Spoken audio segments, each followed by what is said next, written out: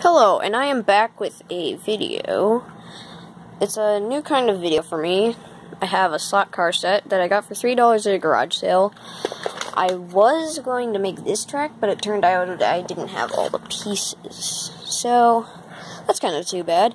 But it is the Artin City Storm anti-gravity action thing. I don't know when it was made. I'm not a professional at this stuff.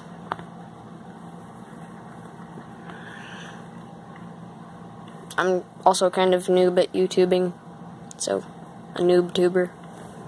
But anyways, um, I have my little car. I have my lap counter. I have that. It's pretty cool. I have a loop. And these white pieces have thinner areas. And the pegs have a little, um, thingy on the end that is thicker. I'm trying to get it to focus. Focus, you stupid phone. Yeah, whatever. So I got my brushes here.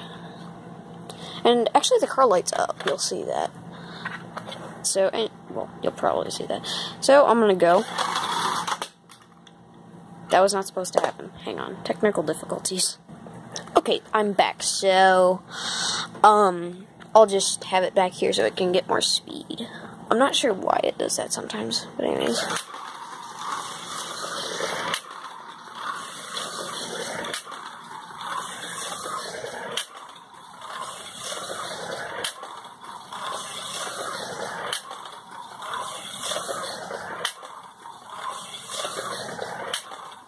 Have that white piece down there to slow it down so it doesn't rush off the end of the track like it probably would.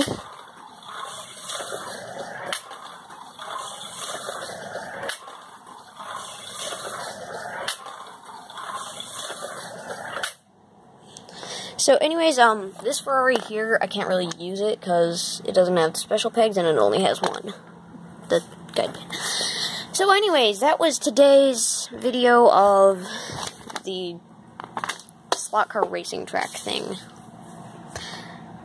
I will see you all next time. Bye!